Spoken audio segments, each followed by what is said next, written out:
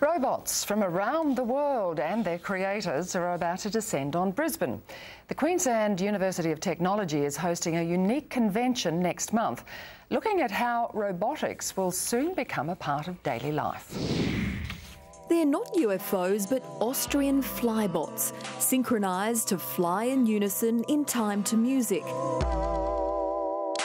They're coming soon to skies above Brisbane for Robotronica, an event for anyone with an interest in robots at QUT. In just a few years, research at the university has come a long way. Down the track, this robot may become a home helper. Everything that your mobile phone can do, this robot can do, but as extra, it can move by itself. Agbot has replaced some expensive heavy machinery on a farm at Emerald. It's not taking jobs, but doing the work that no one wants. It's expensive to train people up, they stay for a little while and then they leave.